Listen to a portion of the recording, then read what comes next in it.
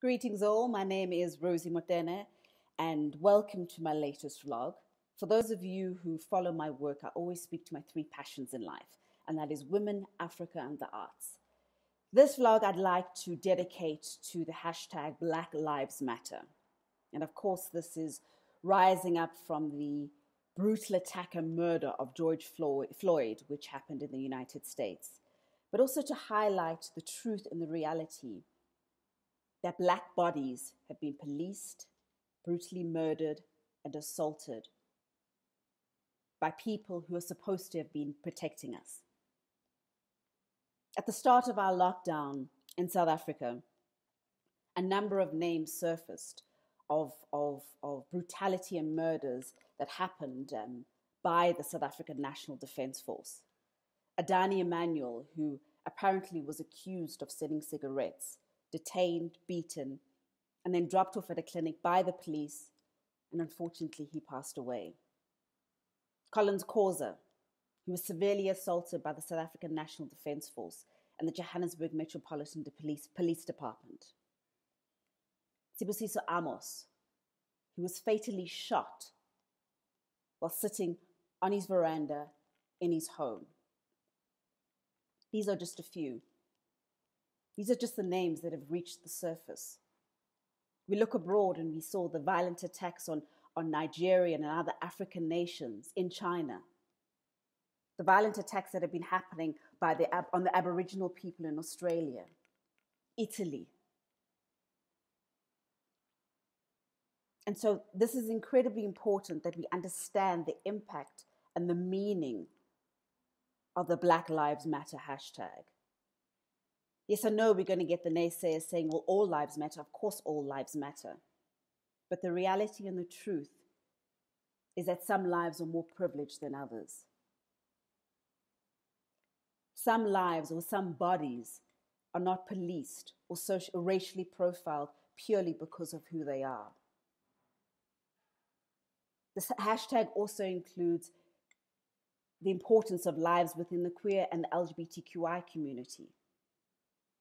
And so we're calling on a global march for the hashtag Black Lives Matter, which will take place on the 5th of June 2020, this Friday. As most of us are in lockdown, we cannot be going to the streets and, and creating those marches, but we can still be using our voices and our agency. So whether it is changing your profile picture on your social media post, recording a vlog like this, writing a blog, doing something within your environment that you can do. And we're particularly aiming it at those people who speak and live from a place of privilege. It's all very well to say, well, I'm not a racist, I have many black friends, but what are you doing? How are you using your privilege? To stand up against racism because that is what this fight is about. Advertising agencies, broadcasters, production houses. We're asking you to add your voice, use your clout, use your privilege, use your status and agency. Because we're tired, we're sore, we're frustrated. Remember, Black lives do matter. There will be a few uh, physical events that, that will be taking place in Johannesburg and Cape Town. And if you follow follow this the, these threads, um, those those will be announced. And if you are creating a space within your own environment, please include us so that we can also share it. But as Africans, too many of our families, too many of our bodies are dying unnecessarily, are being killed or, or brutally murdered. The verbal and brutal abuse that is happening, of course, affects our mental illness. So, physically, our bodies might be alive, but mentally, emotionally, and psychologically, we're either dead or we're dying. So, the next time you see the hashtag, Black Lives Matter, don't roll your eyes or think, well, this doesn't affect me. It does affect you.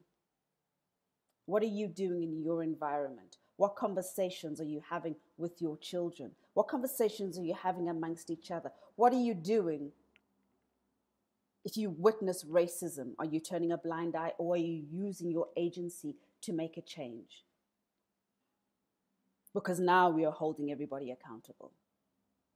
So join us this Friday, the 5th of June,